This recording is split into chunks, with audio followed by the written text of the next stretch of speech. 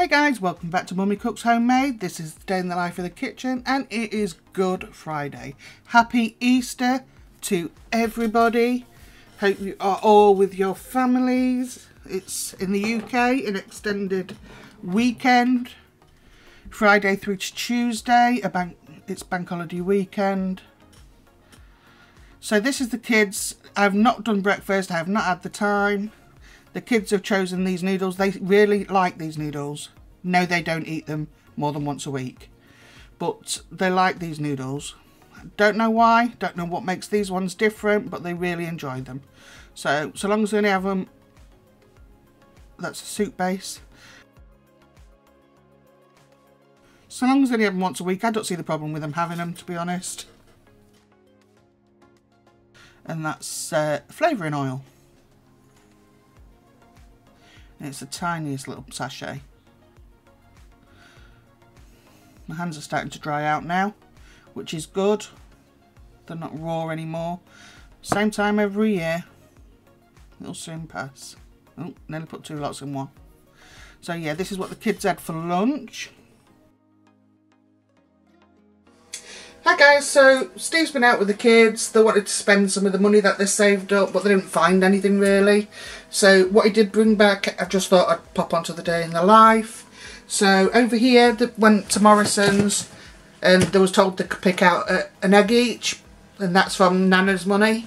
So they decided on this, and they've just twigged that these are all different flavours and not the same flavour. And these are £5 each. Eggs are so expensive now. I remember this size used to be about £3. So there's some Maris Pipers. Yeah, this is Aldi this bit. And some normal white potatoes. Today is Thursday. um, so it's last minute day in the life. So this is vegetables for Sunday. Packet of tender stem. And a extra large Brussels also known as a white cabbage. So I've been looking just for a small, turn it round, piece of pork shoulder. That is shoulder, isn't it? Is it? I think so. You think so? Yeah. anyway, because I wanted to make char siu, so I'll film that one for you. And that's what you got that for, and that was 1.57 kilos, and it was 5.98. I wanted some cooking bacon but they didn't have any so he just fetched this back. Obviously the kids like bunny crumpets. All crumpets are the same. Amy's not usually bothered about them but, because they're in the shape of a bunny she'll probably eat them. Um, 16 ounce steak. I'm going to make um, today's meal out of this and it's not going to be a fried piece of steak. You'll see on the video anyway what I do with that. Two packs of biscuits. Um, therefore, one is today's video and one for the weekend. Caitlin spent... How much was it, Caitlin? Fiver. And which shop, Steve? B&M. This is from B&M. She's just handed me this. She's the... Uh, Harry Potter freak. She just put it back in the box so I could show you. So this was £5 and she's done Hermione's. And That's Caitlin. It. That's it. That's it, I've not done Ron. Have you not? I thought you had done Dumbledore. No. No. I Okay. can't find Ron anywhere. So she bought that. Yeah, Caitlin, you can take that. Right. I'm going to bang on about multivits. I buy multivits for the kids. And I usually buy them online. Tell me in the comments if anyone buys them for the kids and they've noticed the massive jump. It's three to four times dearer now than it used to be for the multivit gummin gummies. I've tried buying the cheaper chewable powdered ones, the kids are not having it. Steve got these from Aldi, the 60 in there. Gummies. £1.80 odd, was it Steve? Something like that, wasn't it? Couldn't believe it. So he grabbed two of them. If I was there, I'd have probably grabbed more, but never mind. I could tell the kids are at home because Caitlin's just fetched that, so I could show that on the camera as well. That was the other one she painted. And that's Hermione. There you are, Caitlin. Take that back. Okay. Right, so he also went to B&M And for Sunday's pudding, I just needed one more of the small eggs. Um, so you'll see what I'm doing with them on the uh, Monday video. Two bottles of malt vinegar. Steve can't survive in the house, or the kids, if they can't have vinegar on the chips. Essential. Essential, is it? God, these feel empty, don't they? They're not. Two right guard, because I told him he stinks, so he's, for you. so he's got to have them now. Soft bakes. Kids got these not long ago and demolished them. Amy loved them as well, so he grabbed a couple of them because they was quite cheap there. Grabbed a couple of dumpling mixes. Oh, you don't want another stew. We had one not long ago. Um, Lloyd Grossman lasagna white sauce. Stop hinting. Um, freezer bags, medium sized. And two of the bacon grill. Let's get back to the rest of the video. So this is my lunch. See, somebody's been nibbling at my corned beef and I was not happy. I'd have took a whole slice. I wouldn't have just had a little bit. But nobody is owning up to the theft of half corned beef slice in this house. How ridiculous. Now I grant that me wittering about somebody nicking half a slice of my corned beef is ridiculous. But still. Really? And it won't cut, so that means someone stuck the mitt in there. no. So yeah, that's my dinner. Quick dinner, get it over with. Now we're on to the Easter Rocky Road. I do have two recipes for Rocky Road already on the channel. I will link both below. One's a regular like this and one's a luxury one. To be honest, so long as you've got the basics three in there, which is your butter, and your chocolate.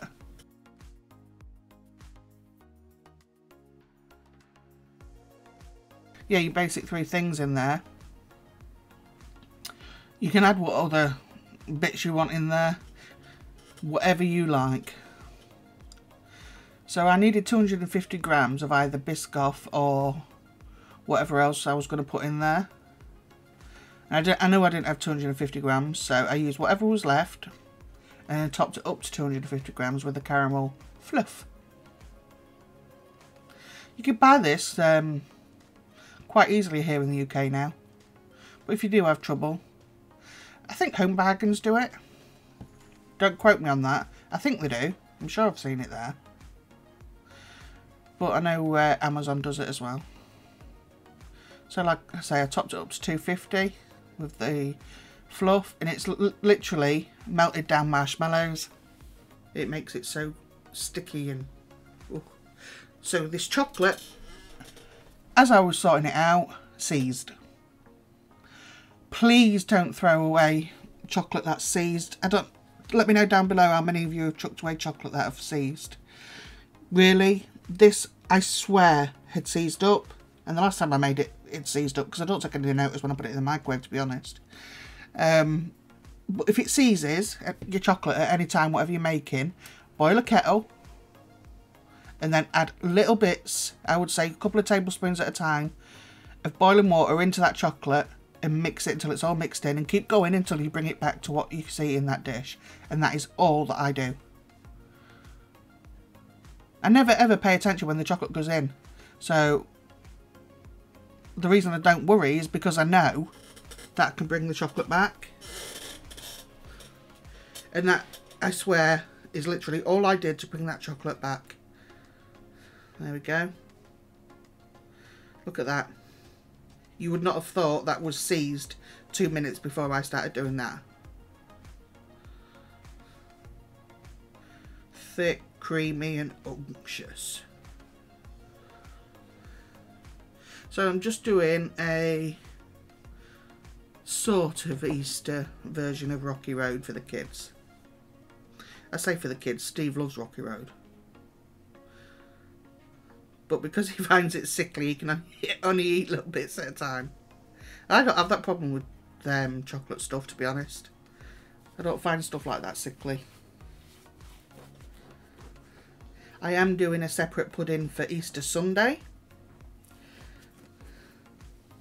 Which I will record and it'll go up on Monday's Meals of the Week.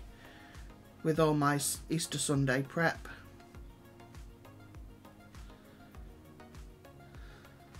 So what I'm going to do is decorate this with um, the last bit of Easter stuff that I've got.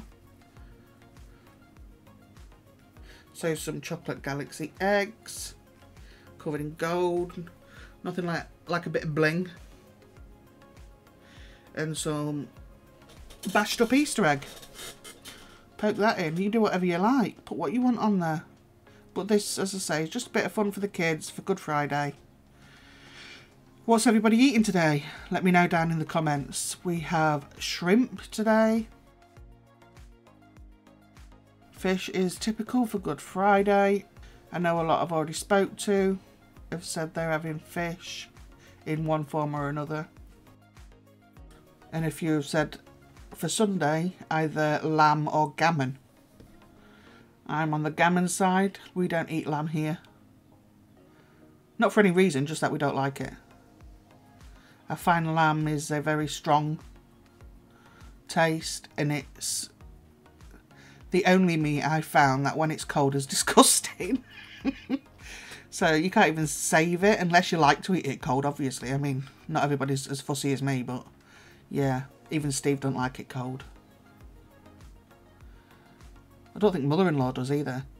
So that just needed a little bit more time to set up. Overnight would have been better. You can see by the bottom look, it looks fudgy but needed a shot for the video. So what can I say? The things we do for you guys. so this is crispy chili beef. This is what we had for tea. Now, this was the first time I'd made it.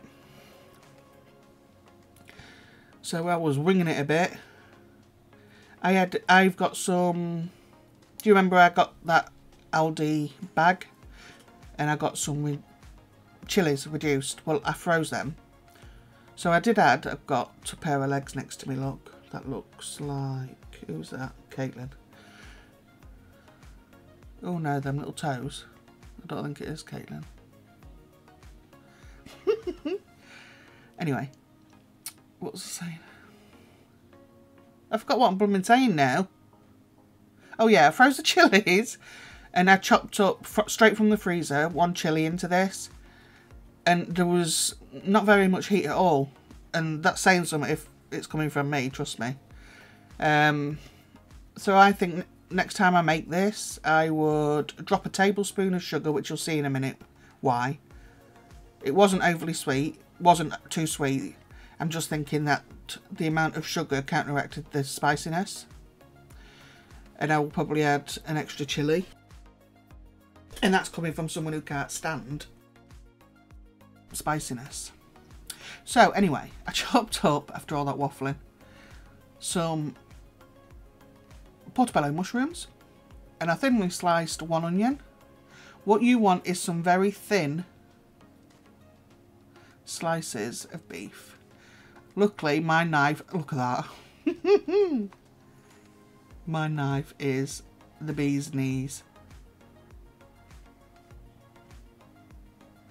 And this beef is so, so soft. So this is the Big Daddy steak from Aldi. I did, you see them pieces that are coming off now? I did go back, lay them flat and then cut them lengthways. So I got two thin strips out of those. Because you only want to cook this for a few minutes. So I used a Big Daddy steak from Aldi. I think it was about £5 but you get enough to feed four to five, four, not 45, four to five people. So, yeah. I have a lovely Easter card there. That is from my very good friend Fiona over at Fiona in her kitchen. So thank you very much for that Fiona and for the lovely books and chocolates for the kids. So we add one egg in there and now we're going to put in four tablespoons of corn flour. This is just to give it a little bit of a crispy coating on the outside. So you want a quarter teaspoon of black pepper, quarter teaspoon of salt. Get all a good mix. You want like a sticky coating on all the beef. So make sure you get in there. I also received a, a lovely card and a box from another friend, Craigie Dunks. So I want to say thank you very much to him as well. Your card, along with Fiona's, is up on the shelf. I appreciate it very much. So, for the sauce, there was six tablespoons of caster sugar, two of rice wine vinegar, three of soy sauce, and I think it was two or three. Can't remember. I'll have to watch. Two of the tomato puree. So we're on tomato ketchup. Two of the tomato ketchup. This is sweet chili sauce. One. Two. And that was it for the sauce, as easy as that. All that was ready left to the side until I'd sorted what else I needed to sort. Once you've fried the beef, it literally comes together in about four minutes. So, snip in a chilli. There was no heat from this. Maybe because I froze them. Didn't even deseed it, look. I don't know. So I'm using garlic oil. It looks as though I'm going to use loads, but not a lot comes out of um, that bottle at once. So fry your meat in two batches and only stir it once or twice because you want to develop a crust on it. I think next time I would cook this and then crisp the outside more because I had trouble crisping mine. I don't know if it's because of the pan or not. Um, so I think I would crisp it briefly in the air fryer.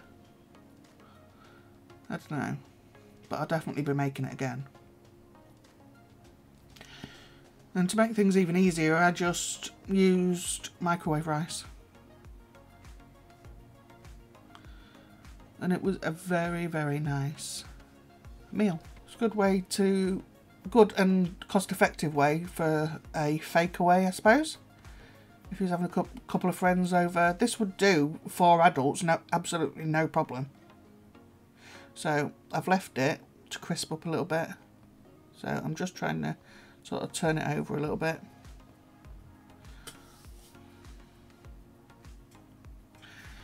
And this cut, this Big Daddy steak was perfect because it was so tender normally you get these thin cuts of beef, don't you? And you, you cook them for a few minutes and they can be quite chewy. There was no chew to this. None. It was so tender. You could have gummed it to death. So I put some more oil in because I want that crisp on it.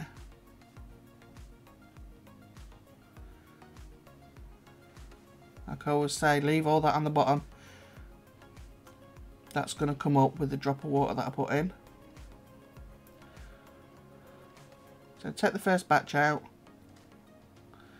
Keep the same heat on the pan. Don't worry about the bits on the bottom of the pan.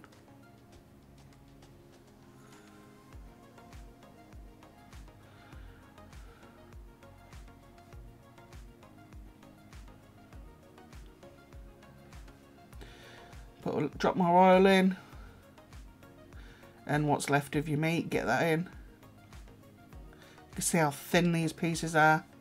So it's literally the work of the entire thing, both batches together, should take no more than five or six minutes. It's a very quick, quick job. I mean, while the meat was cooking, I my sink's right next to the oven, so I just Was leaned over the sink, just washing up. Not that you needed that graphic, but there you go.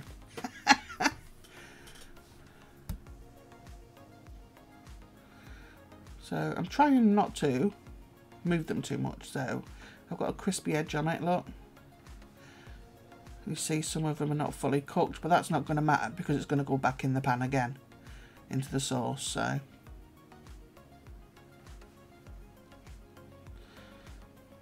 So, to this pan I've added a drop more oil, garlic oil, and I've added some garlic and some sl thin sliced onions. Here come the mushrooms. And I'm going to add one to two tablespoons of water in a minute. And that deglazes the bottom of the pan.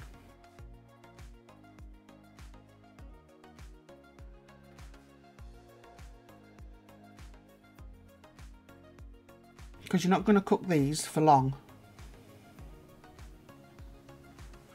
Two or three minutes.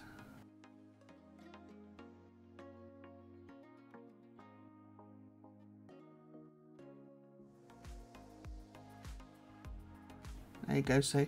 Drops a bit in. It starts to go at the bottom look and now I can scrape up the bits from the bottom. Using a plastic tool if you're using a decent pan. Don't want to ruin it. So all this that's coming up will go onto, it'll stick onto the onions and the mushrooms. You can see it sticking on there now. And it'll go into the sauce. And adding that touch of liquid in there really gets it to cook a little bit faster. That's all flavour. I always say that.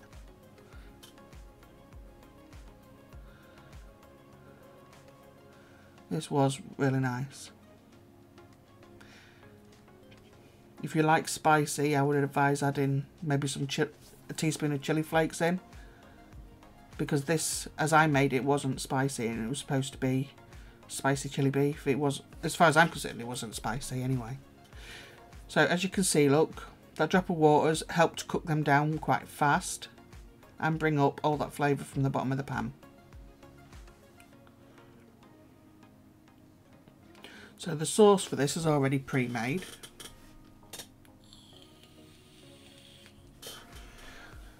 We did it earlier.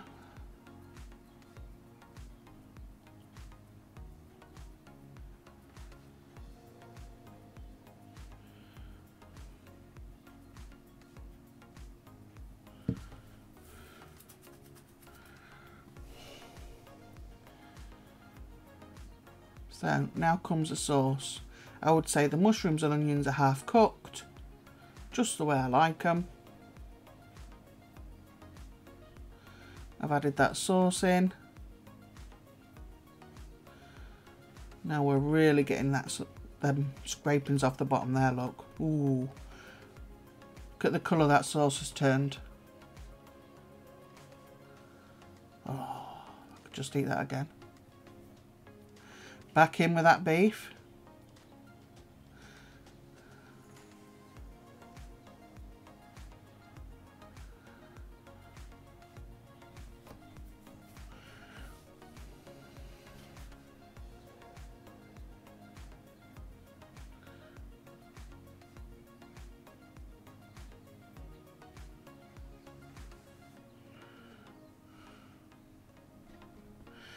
And in a sec I just turn the heat off.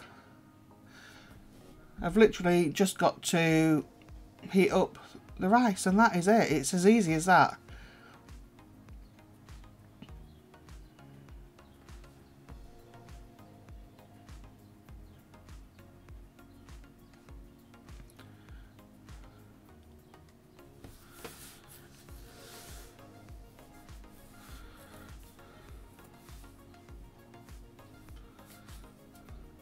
Turn the heat off. Don't know how long it was in there. Not very long at all. Well, that's it. It's finished.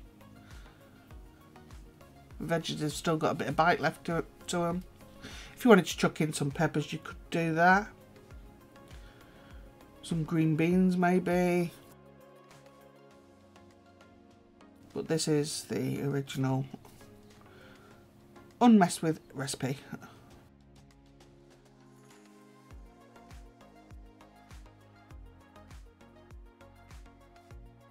And there we go. Crispy chili beef. Num num num. And Steve had his with spicy rice. Spicy Mexican rice. The last thing for the day. So I'd already prepared the Rocky Road for today, which is Good Friday, which I'm voicing this over on. So it's going straight from voiceover to check to online. We none of us like hot cross buns, so I've done tea cakes for breakfast for us. I also have tea cakes in the playlist. I can link up below for you. If you haven't made them before, super easy.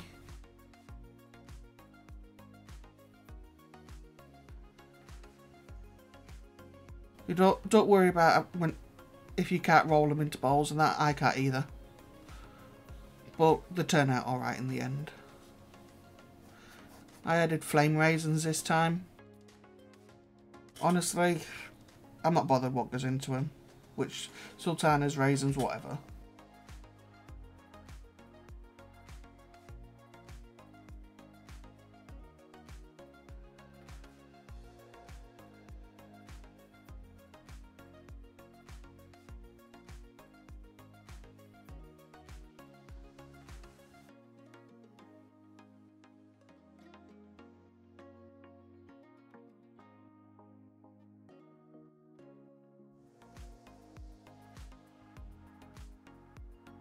I was actually a bit worried. I thought there was something wrong with this yeast. it's new yeast as well. It's a new packet that I poured in there.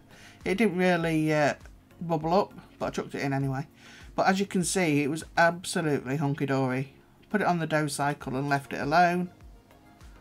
There you go, look at that. Beautiful. So I'm just going to leave it now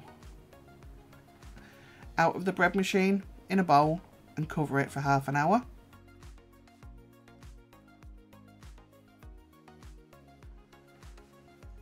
And that's been done. It's been left for its second rise. Now I'm gonna... yeah. Caitlin's in the kitchen again. I've just spotted a leg. It's usually the dog. Now I'm to split this dough. It's a, I attempted equal parts. I could get the scale out and weigh them, but yeah, it's just not that serious.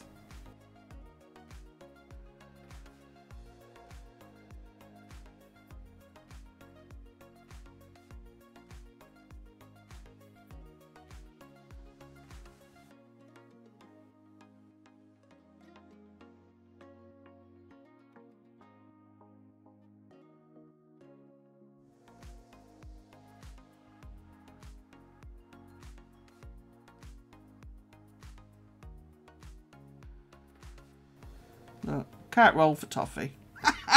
oh dear. I watch like Azerbaijani women rolling dough, dough balls and they don't even think about it. You know, it's it's a job that they've done in it for years and years and years, I suppose. Once you've practiced all that time, it's second nature. But no, like pastry, dough hates me. but they turned out, and we've had them this morning. There's literally two left. It was absolutely beautiful. So, yeah. Not really fussed, to be honest. As you can see, I gave up on uh, beauty and aesthetics and just went for get it done and get it in the oven. so I brushed these with um, egg yolk it did give it a darker look once it come out of the oven. It is not burned, I can assure you. It just gave it a really dark look when it come out of the oven. I did do some smaller ones on purpose because Amy's all, I want one of them, want one of them, and then don't eat it. So yeah, that's why.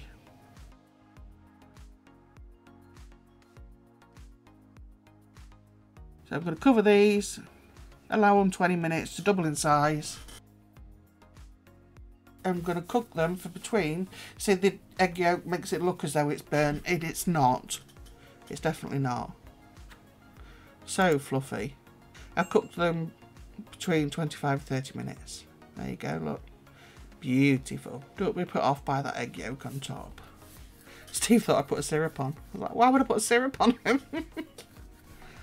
so yeah, good happy Good Friday to everybody. I hope you have a great weekend with the family and I will see you again soon. Bye.